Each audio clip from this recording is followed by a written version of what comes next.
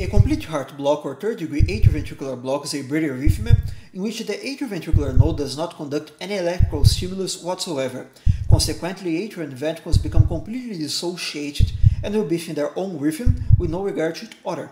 Here we can see the P waves causing atrial contraction 90 times per minute simply do not reach the ventricles. The ventricles therefore revert to the intrinsic automaticity of the infranodal system, beating 36 times per minute in our example, thus the low heart rate.